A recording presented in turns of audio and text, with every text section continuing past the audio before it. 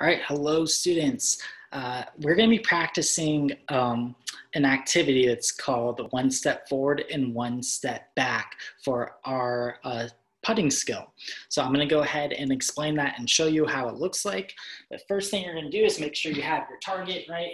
Your club and your ball. And you're going to start with just one step away from your target once you put that down. So I'll take it one step back. Okay, go ahead and place my ball down.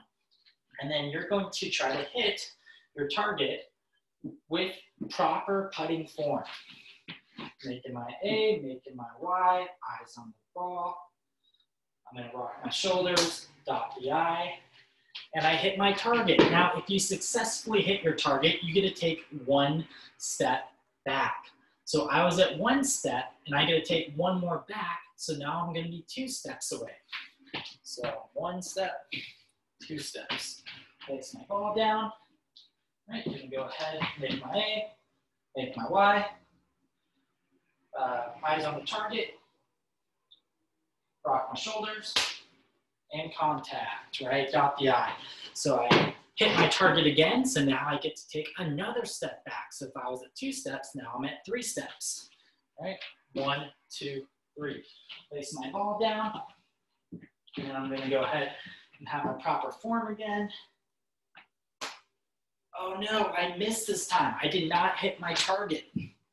So I missed the target. Now, if you miss your target, then you have to take one step forward. So I'm subtracting a step. If I was at three steps and I subtracted one, I would now be at two steps. So now I'm gonna just take two steps back. One, two.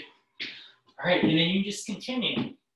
Now, I would like you to at least be doing this for uh, a few minutes, all right, uh, to play the game, or you can set a goal for yourself. So maybe your goal is 10 steps, okay? So I now have two steps, so if I want to get all the way to 10 steps, I have to keep hitting my target.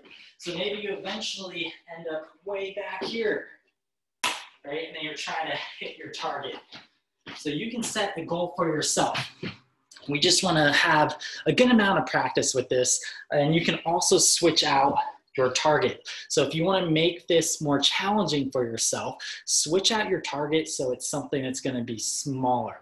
And you could even switch out the ball to something smaller as well. That's also going to make it a little bit more challenging. All right, so one step forward, one step back. That is our putting activity that we're doing for uh, this video have fun with it.